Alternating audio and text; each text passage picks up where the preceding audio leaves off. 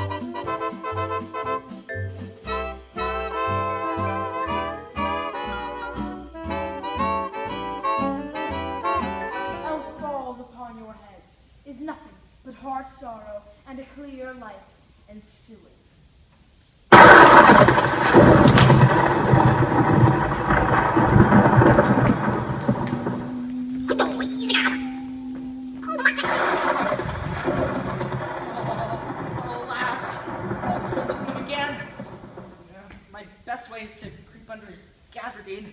but There is no other shelter hereabouts. Misery acquaints a man with strange bedfellows. Hold it no longer. Th- This is no fish, but, but an alien that hath lately suffered by a, a thunderbolt. Alas, Monster come again. My best way is to creep under his gabardine. There is no other shelter hereabouts. This really acquaints a man with strange bedfellows. I'm back here in the scene shop working on the robot. There it is. It doesn't look like much. It's just really a cardboard tube, but I'm painting it white right now. And um, if you look inside, it's got all kinds of wires and gears, and this is a little button that you turn on and off lights. There's this gizmo, which is in the inside of it and actually makes it run.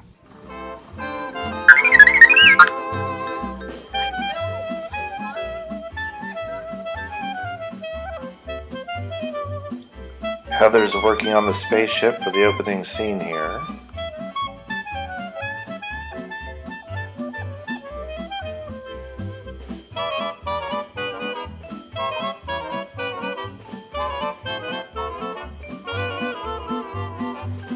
Here we are working on the lighting design.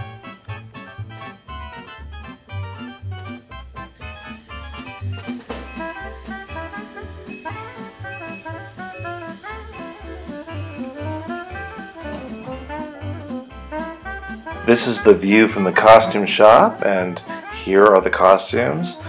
The ladies' costumes all lined up there, ready to go, and boots down there at the bottom, and the boys' costumes all lined up, ready to go down to the dressing rooms. This is a crew of kids we had in early in the morning for a TV spot with Good Day Sacramento. The set is looking nearly complete at this point. I'm older than the iPhone. I thought the iPhone, I thought the oldest iPhone was the iPhone 10. No.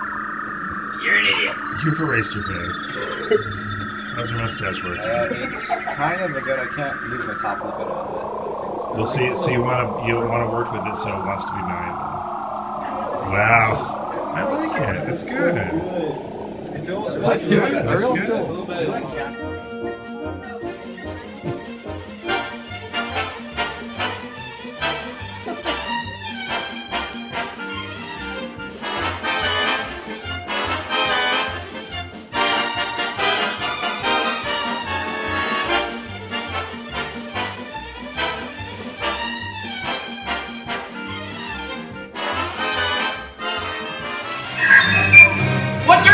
Say?